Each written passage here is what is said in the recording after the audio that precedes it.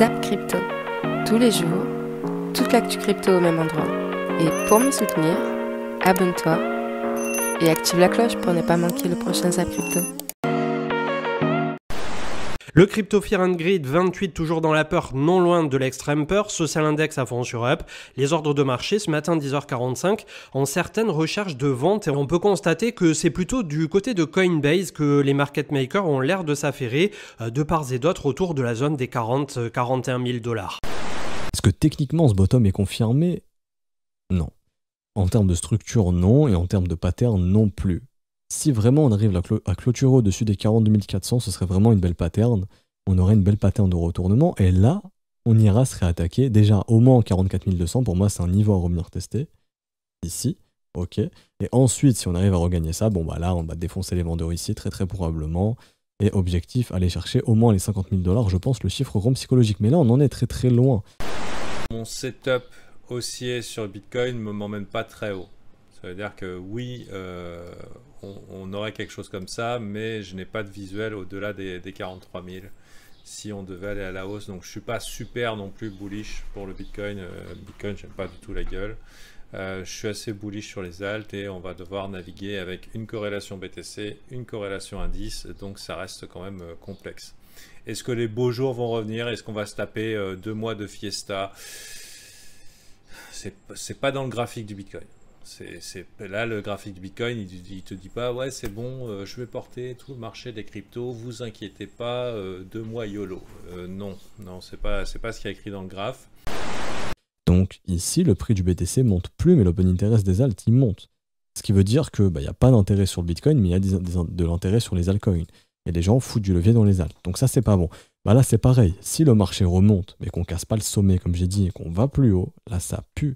Et il y aura le risque, malheureusement, de faire hop, hop, hop, hop, hop, hop, hop, hop, les gens foutent du levier sur les altcoins, hop, hop, hop, hop, on les nettoie et derrière on fait ça et peut-être même aller chasser sous du 33 000 derrière, puisque malheureusement, ce genre de truc, ça nous ferait du M-Weekly, et je vous le dis, un M-Weekly sur ces niveaux de prix, c'est le pire truc qui peut arriver au BTC, ça peut littéralement annoncer la cassure des 28 000 derrière.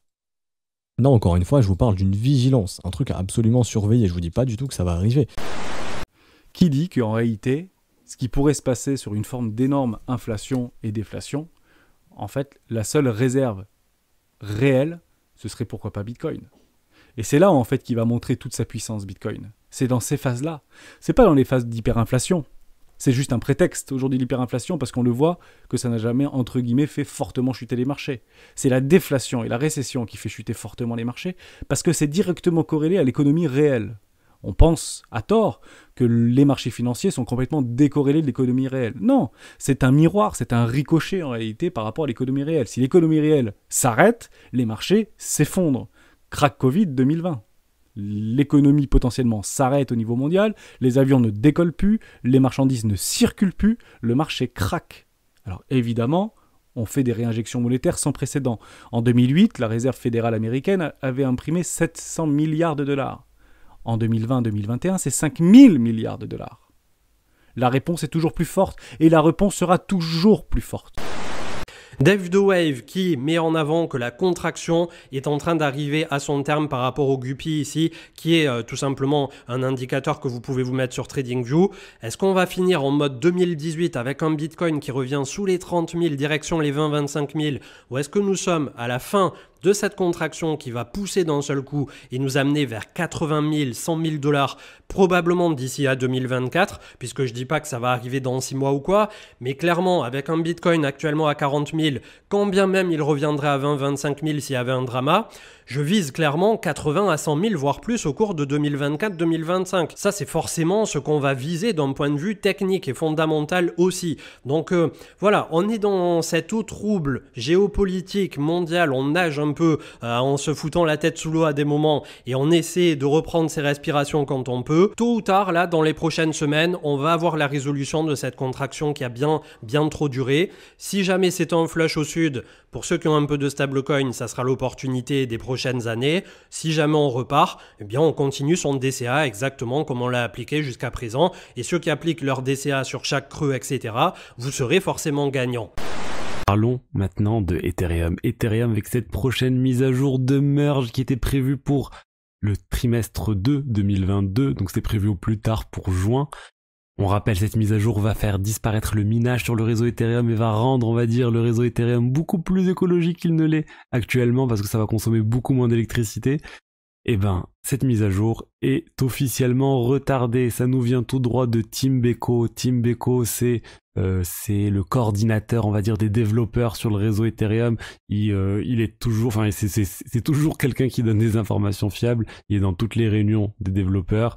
C'est euh, du coup une information de source vraiment fiable et il le dit clairement, ça ne sera pas en juin. La mise à jour n'aura pas lieu en juin, probablement au cours des prochains mois après. Aucune date n'est fixée pour l'instant.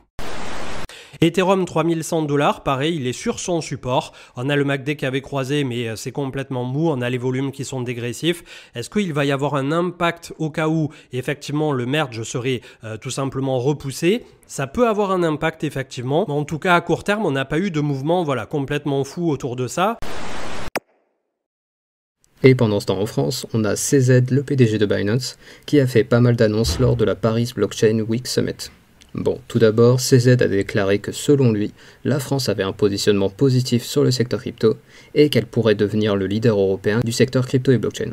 Et il joint les actes à la parole en annonçant l'investissement de 100 millions de dollars qui serviront à la mise en place d'un incubateur de start-up crypto à la station F, qui est, je vous le rappelle, le plus vaste campus de start-up au monde situé à Paris.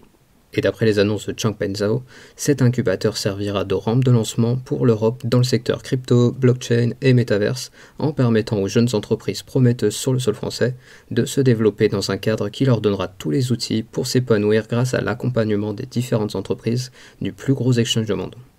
A savoir que Binance convoite toujours la certification PSAN délivrée par les autorités françaises pour pouvoir délivrer des produits sur des actifs numériques. Et dans cet objectif, on apprend qu'ils viennent d'embaucher une ancienne cadre de l'AMF qui les aidera dans cette tâche. Bref, vous l'avez compris, Champagne Zhao et Binance voient un énorme potentiel pour le secteur crypto et blockchain en France, et ils souhaitent prendre part au développement de l'écosystème français dans le but de faire de la France le leader européen du secteur crypto. Et puis, je crois que la France sera le leader de l'adoption crypto en Europe. Nous pensons que la France est l'un des meilleurs endroits où se trouver pour crypto, pour ce secteur. Ensuite ici, ben ouais là j'ai vu ça ce matin, la big news là les gars euh, par rapport en fait, donc je vous le lis, hein, c'est un retweet de euh, Cryptos, donc l'émetteur de l'USDC Circle lance un cycle de financement de 400 millions de dollars. En parallèle, BlackRock a conclu un partenariat stratégique avec Circle afin d'explorer les euh, possibilités d'utilisation de l'USDC sur les marchés de capitaux. Donc là, pourquoi c'est une grosse news? Parce que quand on voit BlackRock noter n'importe où, les gars, dites-vous que c'est du très lourd. Euh, je sais plus combien ils ont sous gestion, euh, mais bon, c'est des trillions. Euh, bon, bref, c'est juste démentiel. C'est le plus gros fonds du monde, tout simplement. C'est eux qui ont le plus gros, voilà, le plus gros capital sous gestion. C'est juste complètement débile. Donc, quand BlackRock rentre dans les cryptos, dites-vous que ça peut, voilà, complètement tout chambouler. Donc, bien sûr, ils avaient déjà fait une annonce il y a un certain temps par rapport aux cryptos, mais là, ils sont encore en train de plus s'implanter, comme vous pouvez le voir. Et quand ils vont commencer à vraiment injecter les capitaux, là, ça sera vraiment une grosse explosion. Le, market cap en fait des cryptos va exploser en même temps. Euh, ensuite, du côté des news, on a Studio Epic Games qui lève 2 milliards de dollars pour bâtir un metaverse. Epic Games qui euh, est le créateur de euh, Fortnite, donc grosse, grosse, grosse entreprise derrière. Et il lève quand même 2 milliards de dollars. C'est énorme, c'est colossal pour bâtir un metaverse. Et ils peuvent être l'un des plus gros acteurs de metaverse si voilà, ils font bien sûr correctement la, chose autour de ça. Mais je me fais pas de soucis parce qu'ils ont déjà développé l'un des plus gros jeux qui, qui a mieux vendu et qui a été le plus joué ces dernières années. Et en plus de ça, s'ils lèvent 2 milliards pour bâtir metaverse, ça risque d'être assez balèze. Et en plus, là, Epic Games, c'est vraiment du mainstream. Donc on n'est plus dans euh, les petites entreprises assez nichées qui essaient de lancer un metaverse. Là, on commence vraiment à attaquer euh, avec du gros. Et finalement, on a le hacker qui avait attaqué le réseau Ronin, qui a bougé 21 000 ETH vers Tornado Cash la semaine dernière, soit l'équivalent de 65 millions de dollars au cours actuel on risque de voir beaucoup de choses arriver sur le réseau Bitcoin et on risque de voir des nouveaux outils nous permettre de faire d'autres choses que l'on réalisait déjà quotidiennement sur d'autres blockchains. Et je sais bien que c'est pas ces sujets-là qui vous le plus frétiller. Je sais bien que beaucoup d'entre vous sont là pour la spéculation, les prochains projets, les prochaines tendances. Mais bien que j'aime également la spéculation et bien que ce soit un sujet qui est traité sur ma chaîne et d'où je fais justement des tutoriels parce que je trouve que l'on manque d'éducation financière et Bitcoin veut également dans ses valeurs apporter une liberté et une inclusion financière à tout le monde. Qui veut dire avoir une liberté financière veut dire que l'on doit avoir une autonomie et donc une éducation financière. On doit prendre ses responsabilités et il est donc normal de traiter ce genre de sujet. Malgré tout, il n'y a pas que la spéculation. Là où quand on parle de profit et de spéculation, les gens ne voient que la machine capitaliste qui brûle tout sur son passage, j'ai une vision bien différente de la finance et de ce qu'on peut en faire. Et là où certains entendent parler de Bitcoin et de crypto-monnaie comme un outil pour gagner ou perdre de l'argent rapidement, la vérité des fondamentaux qui ont été apportés par le protocole Bitcoin sont certes très loin dans la technologie, mais pourtant très très proches des valeurs humaines que nous devrions tous connaître, au moins quand on s'intéresse au monde de la crypto-monnaie et de la blockchain. N'oublions pas que le Bitcoin à l'origine était porteur de valeurs comme la liberté individuelle, l'inclusion financière, et qui avait quand même pour base de proposer à toute personne les mêmes services et les mêmes accès sans aucune discrimination, parce qu'un algorithme, lui, traitera toujours tout le monde de la même façon. On a un article qui rapporte une étude qui affirmerait que les investisseurs en Bitcoin auraient des tendances psychopathiques. Bon, déjà, tout est parti du média The Sun, un tabloïd anglais, qui a reporté une étude qui, d'après l'article, nous dit que les investisseurs en crypto ont des tendances de machiavélisme, de psychopathie et de sadisme. En gros, les investisseurs en Bitcoin tireraient du plaisir du malheur des autres et auraient des tendances à manipuler leur entourage. Mais bien sûr, vous vous en doutez, la réalité est tout autre. Si on se penche sur l'étude de 566 personnes, il y a une personne sur quatre qui possède effectivement des cryptos, un tiers de ces personnes restantes se dit intéressées par les cryptos, et le dernier tiers n'est même pas intéressé par ce secteur.